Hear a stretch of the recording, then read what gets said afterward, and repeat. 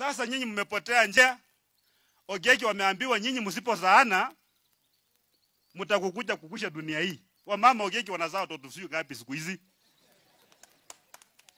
Wa Kipsigis mama moja watoto kumi na nane. Hii watoto kumi na nane unasukuma watoto kumi na nane 18 Sasa watoto kumi na nane utapeleka wapi?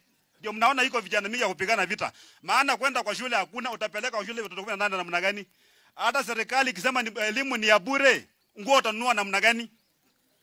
Huyu mtoto asipo- asipokaa nyumbani akusaidia kwenda kibarua na kulima kule na kufanya fanya, mwatakula nini?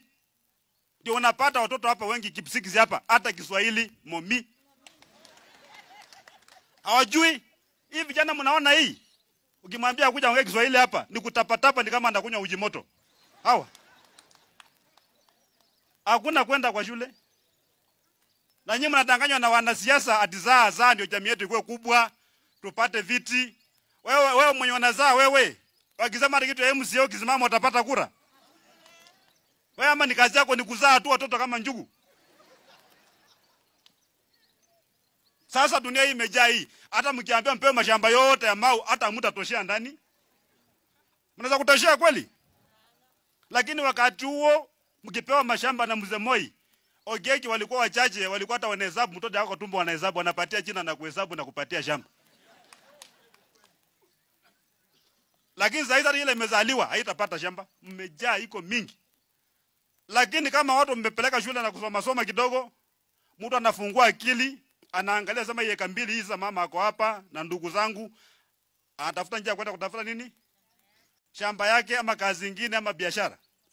Lakini ile tabu ambayo inakuja hapa, mheshimiwa, nyinyi mnaambia watu wazaane, tafadhali Mungu atapiga nyinyi kiboko. Hawa mimi ni maana nimeona nyumba nyingine ya mzee mwingine Kipsigis watoto kumi na mbili, lakini ukiweka mbao kwa kichwa hivi wanalingana yote size moja, haiwezi enda hivi wote hivi size moja.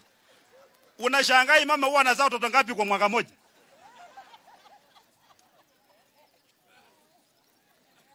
Hebu tuache maneno bwana. Watoto sio mali, mambo ya watoto kuwa mali ni tabu. Wamama wala ambao watoto wala hao heshimiwa hawa wanaambia mzae watoto hao wanazaa watoto ngapi?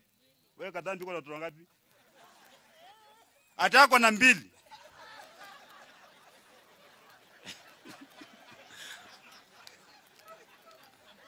Lakini yeye kuzaa yake na yenu ni tofauti. Kama mjui yake hiyo inasema tatu hiyo inapelekwa hospitali ikifika tu miezi sita imebaki tatu azaa anaenda live.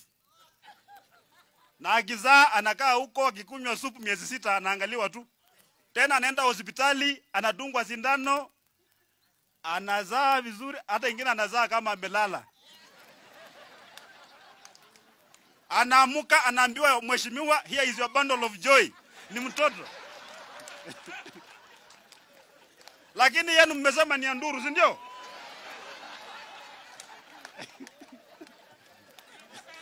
Ya nduru inaitwa bundle of misery.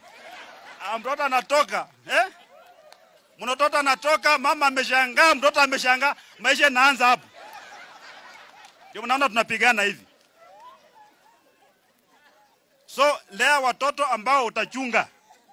Mama unajua mtoto wako wapi, mzazi mzee unajua watoto wako wapi. Wakati ya hii vita hii, wanaume yote hakuna. Mpaka kuna mama mwingine niliona kwa TV anatafuta watoto na anatafuta nani? Na mzee pia. Mzee pia amepotea. So nyinyi wamama, msikubali watu walete vita. Maana wakati- wanaleta vita wanaleta nyinyi tabu. Si mnajua namna hiyo? So tukubaliane hapo, Wewe zaa kabineti yako ile unaweza kwa nyumba yako watoto mbili. Najua ukiambia mwanaume kipsiki sasa watoto mbili ni shida. Watoto ngapi? Mali tumefikia cha tupunguze maana mashamba hakuna.